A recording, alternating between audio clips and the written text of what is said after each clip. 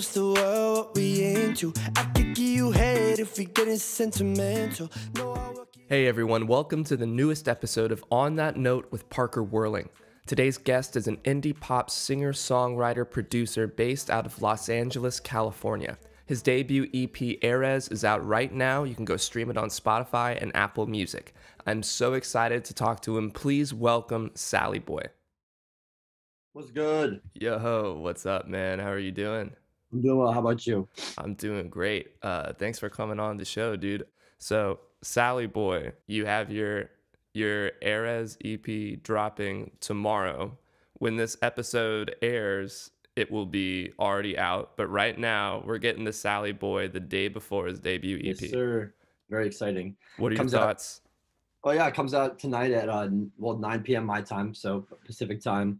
Um, I mean, I'm excited. It's been like I've been working on this for a long ass time. Like, I started writing it like two years ago. Started like recording it like one and a half years ago. So I'm just excited to you know get it out there and finally, hopefully, like have. Well, I will have.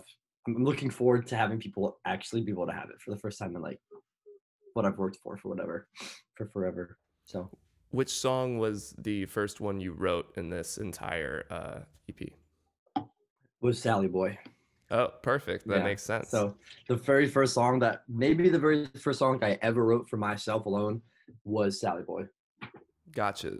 So when you wrote that, was there a feeling of like, if this is gonna be like if, sorry, let me explain this. When I first when I wrote my first song I ever recorded, uh, I had a feeling of like, or the first one I ever released, it felt like okay, I'm actually proud of this. This makes sense, Mm. and and it's like the starting point of the rest of your Yeah. journey. Did Sally Boy kind of feel like that at all? Um, so I was in a so let me just put it. I'll start with a little bit of a backstory before I get into like my actual answer. But I was in a band for a really long time. Um, and so like I wrote a lot of, of, of music and released a lot of music with them. So I'd had like that experience of like releasing music and stuff like that. I think when I first released Sally Boy, it took me like some time to fully realize like that this was a new type of like experience for me. And it was a new type of um emotion to release something like that and uh on solely by myself and underneath only me. So um I think it wasn't like right away I, I wasn't in that mindset of like yeah like this is like this is it like this is like amazing for me it took me a second to be like okay like this is different from when i've released music in the past like this is a new type of like legitimacy you know so it, was it was a, it, gradually i guess got to that feeling but but i was a little bit um numbed maybe disillusioned from past releases with a band Gotcha. Yeah, it's more personal to you because Mhm. it's your own story, it's your own melodies, it's Yeah. your own everything.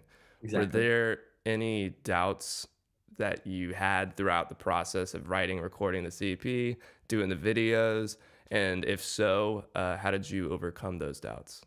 Um, I mean, just being an artist, at least in in my uh, experience and the people that I know, is full of like ups and downs of like being like this, I am the worst musician in the world, and no one's gonna listen to me. I'm nowhere near as good as this person, and then like other days when I'm just like, I am the greatest singular artist to ever exist in the whole world. So um, yeah, I've been through those periods where I felt my music or something I've created wasn't really up to par, up to standard, or up to like even like as good as friends or colleagues or peers or whatever. Um, but they just they generally go. Um, I have this little what is it? I have this little checklist in one of my notebooks that I keep. Let me see if I can find it. Um, where like I was like, uh, it says. Okay, goes. It's this list that says stop self-deprecating, and then it says like, and then this is like February 8th. It's like you're doing well at this, keep it up. And then like March 2nd, you can do better. March 10th, do better. Like March 20th, doing good. April 5th, on a roll. so so I, I I think some things like that help um, you know, marginalize the self hate and whatnot. But definitely definitely giving yourself affirmations can be Yeah. very helpful. Like, and you d- just do it on a day where you feel good because Yeah. you know eventually you're going to be back down Yeah. in dumps, Yep. and reading those will help. Yeah. It's always this is really random analogy, but I used to play like NCAA 09 football game. Yeah. And and there was always like whenever you'd be really winning, like really like winning very like uh concretely like 45 to 9 or something, the guy would be like like this team when they're having a bad day is gonna want to look back on this film to like make themselves feel better. And it's like sort of in line with that where it's like when you have these really shitty days, you can look back at times when you're like, oh like, that was really good. Like look at look at how people reacted, like look like this fantastic energy experience and like make bring that to your current state. Yeah, absolutely. Very, very niche reference right there, but no, I think everybody's gonna get that one for sure. so uh, I have to ask about probably my favorite song, Sippy Cup, at least right now before the EP's out. Um, it came out September 9th. What was the writing and recording process for that song? Like, where did it start? Um, okay, so it started when I was home for winter break. Must have been like I don't know exactly when it was, but I know I was in my basement at home where I've written like a, a lot of songs. It's like that was a very nice basement. I had definitely ex- written a number. I wrote Sally Boy also in that basement a little bit, like a part of Sally Boy. Um, and I just like had this guitar riff, and then I had this voice from from when I was here, and it was just like, "Tell me, am I too much for you?" Like I had that that that uh, hook already written, and so that was here. I had that, and then I went home and I recorded, and I got guitar down, and then I came back here and like I'd have these songs written for like a long time before I ever demo them. So I just demoed it by myself and then brought it to my friend TJ. Um, and we like produced it out and it sounded fucking sick. And then I, and then we did like another session or two, and then I brought it to my my buddy Cole to do guitar to re-record guitar and vocals, and then me and TJ had like one or two more sessions and done. Um, so sort of all over the place. I mean, starts with me more and more. It starts with like me and then a demo on my computer, then I bring it to someone to elevate it. So it goes through a lot of stages of creation. But it, it certainly stays like the same song and like if you listen to the original demo that I did, like you'll hear like pretty much everything that's in the in the current. Like we used a lot of what I demoed in the current version. Like that, you just wouldn't get like a lot of the more like impressive like production aspects, like sounds and like that whole outro section. The yeah, that was all. That was all things that other people could have added, that added on my behalf because I was like, I want this to sound like this, but I don't know how to do it.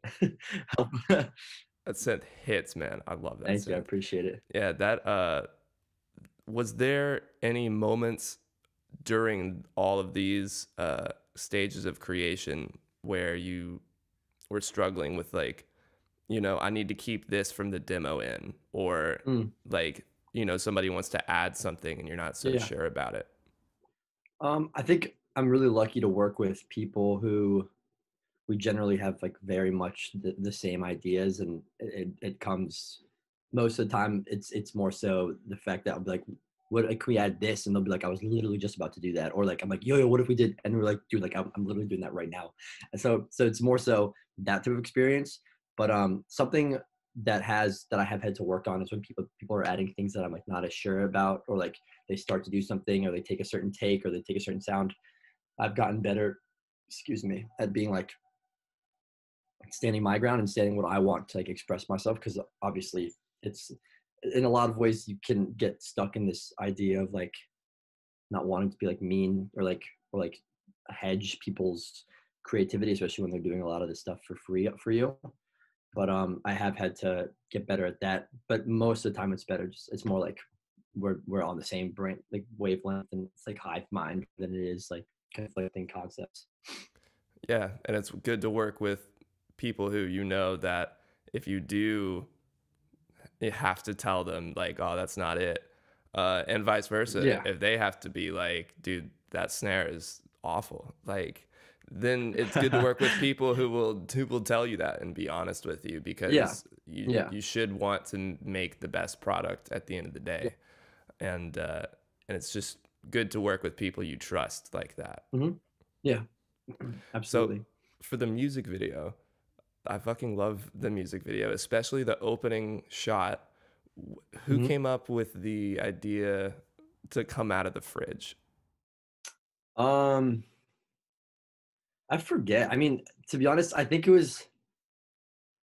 It could have been any one of me, John, or Eddie. One of us came up. We just like all sat down one day in, in in John's room and like came up with all these different ideas. Um, and uh, one of those ideas, what like we came up with the entire treatment for the video in like literally just like two hours. Like we were like, we knew what it wanted. Like I knew what it wanted to look like to an extent. Me and Eddie had talked about it, and then we all just like threw out all these ideas. So it was one of us three. It was the collective conscious that came up with the idea to come up with come out of the fridge. Um, at this point, I I don't really remember, unfortunately. Do you remember what the core of what you wanted was before you guys even did the the two hour treatment? Mm-hmm.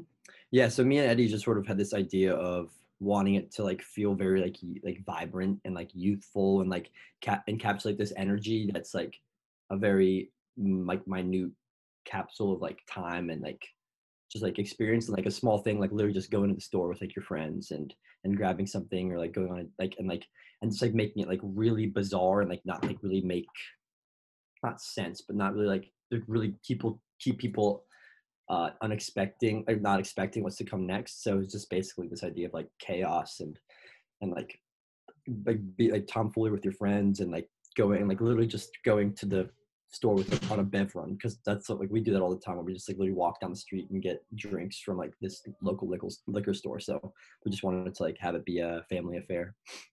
Yeah that's one thing i love about the music video and one thing i like about just film or any kind of music video in general is when uh, the camera like will move slightly and suddenly you're seeing this totally different perspective of something like mm mm-hmm. right after you come out of the fridge, like the camera turns and then it turns back and all these kids are going yeah. crazy in your living room. Like yeah. that's so sick. And then yeah. the U-Haul.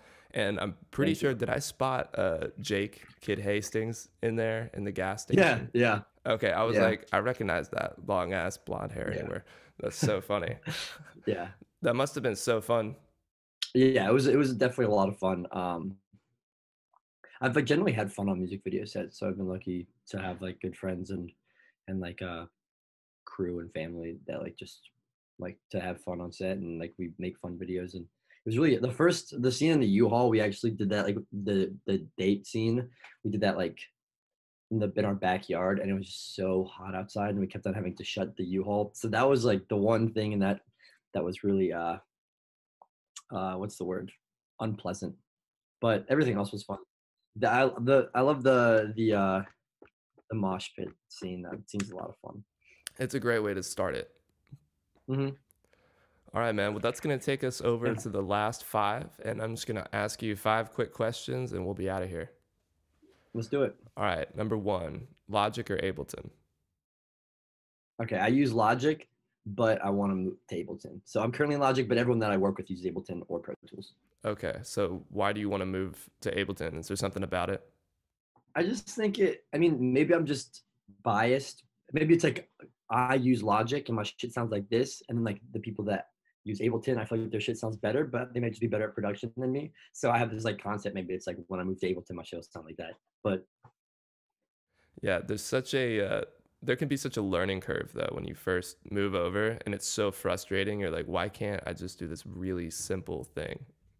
I work on like my friend's computer through Ableton, so I know how to use it, just not mm-hmm. like as well as I know how to use Logic. Yeah, I think it's smart to use both at the same time if you mm-hmm. can. Just utilize best of both worlds. Yeah. All right, question number two: Who's your dream artist or producer to work with? See, this one always gets me because I have like a million. I mean, yeah, you don't. You can name as many as you want. Honestly, I'm not that obviously, strict. I love like Frank was obviously is obviously someone I would love to work with, although I don't mm-hmm. think I ever like could work with him because I think I would be in too much of like a like shell shock. Shock, yeah. I, w- I really want to work with uh, this guy Arthur. He's um. Oh, I fucking love Arthur. Yeah, dude. Arthur's he's sick. He's out there. He's so strange. Yeah, he's like definitely a genius. Um, I love what he does. I think like the way I would love to work with Arthur is in the same capacity that like what he does with like Joy Again and like with Sachi songs. Like he makes these like like these like general like pop or like like dreamy like indie pop songs and he adds like these like crazy aspects that you would never ever expect. Mm-hmm. That's what that's what at least I think he does because that would make sense. Um, so I'd love to work with him in that capacity. Like Vegyn, obviously, it's a genius. Um, Is that how you pronounce it? I always thought it was like Vegyn. I think it's Vegyn. I'm pretty sure it's Vegyn. You're probably right. I just I didn't know. yeah, I I um I don't know. I'm just I'm, I think it's Vegyn, and then like Mk.gee would be sick. I love what he's been Yep. doing. Yeah, yeah. I talked to to Kid Hastings, and he also said Mk.gee. Yeah. He said he was his most underrated artist, and I totally agreed. I freaked out. I fucking I love think- him. I think he's getting his uh his praise, and like he's he's like as a producer, he's getting his fucking like Mhm. definitely getting his fucking bucket. Like he just was on the Omar Apollo record like for two songs. Oh, was he? I haven't listened to it yet. That's a great record. I would also be remiss to say, re- remiss if I didn't mention that at some point in my career, I definitely want to have a song with John Mayer, just for like the little kid in me, like the little like sixth grader. I need to do that. I could see it. John Mayer is a Yeah. pretty uh, popular popular mention in this podcast. Pretty. oh, like, really? I would probably say I've done you're my like 27th episode and uh or maybe like 30th and uh there's going to Mhm. be there's probably been like seven people who have mentioned John Mayer so far. That's Which sick. like maybe that doesn't like- sound like a lot, but like I don't all No, I don't bring up. John Mayer, you know, they just all talk about Yeah, him. but, like, yeah. I think John Mayer's like a little secret. Uh, like everyone loves John Mayer low and like he's Yeah, even if so you don't mention him. like, mention it. Yeah, exactly. And like every single songwriter ever has definitely taken something from John Mayer or listened to John Mayer and been like, "Yo, like that's the dude." At some point in their life. yeah, you're kidding. If they ever played acoustic guitar, if they ever played acoustic guitar, Yeah. you have listened to John Mayer and been like and taken something from John Mayer. Yeah, you tried to play neon and you gave up real quickly. I learned how to play neon at one point. I'll tell you. I used to be You much did? better at guitar. Yeah. Hell yeah, man. That's that's not an easy song. It's crazy the shit he'll do. No, yeah, he's he's a genius. And when you said Frank, I totally agree, by the way, that you should work with Frank. And the end of Sally Boy makes me really think that.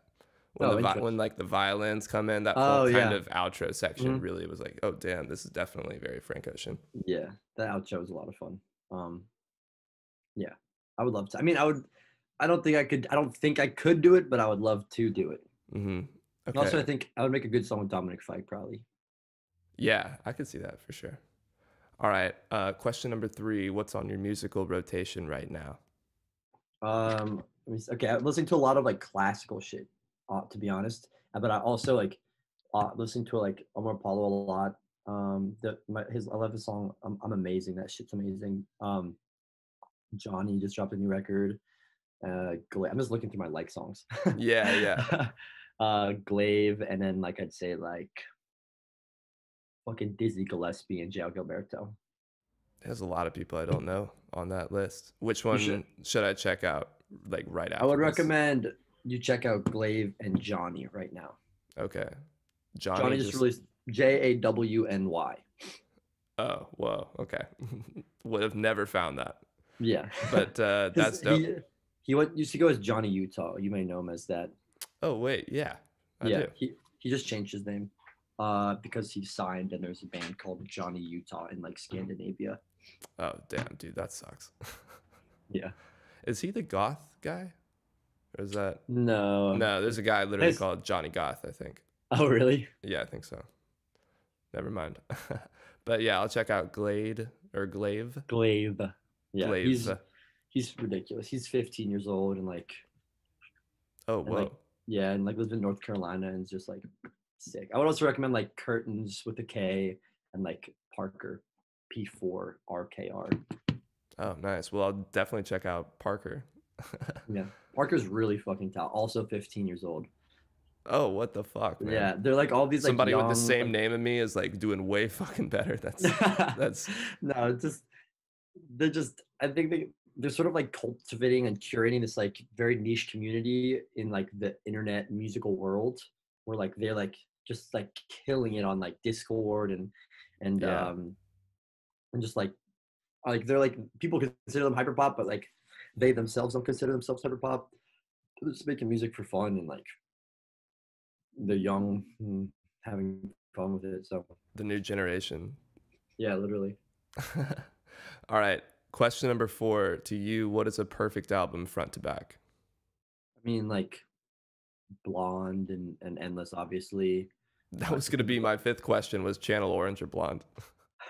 Blonde. Uh, but I was gonna say To Pimp a Butterfly also is like it, definitely my my favorite album of all time, in just terms of like pure, like genius and and like execution. It- it- it's like the best execution of maybe an image of like a vision like I've ever seen ever. It's fantastic and front to back doesn't miss and yeah, that's a great album. There's like a lot of really perfect albums in the world. I'd say like I don't even like depends what you even call an album. Like some song like seven song EPs. There's some perfect ones of those. Like the White Album's a perfect album. Like Revolver.